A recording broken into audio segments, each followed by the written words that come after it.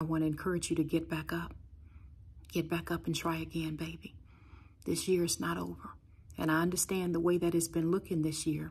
Maybe the results are not what you've been looking for, right? Because you've been praying and you've been working and you've been taking care of people and doing so many things. And you still don't see quite things working out the way you hope. But baby, get on back up. You, you, you're so much closer than you realize.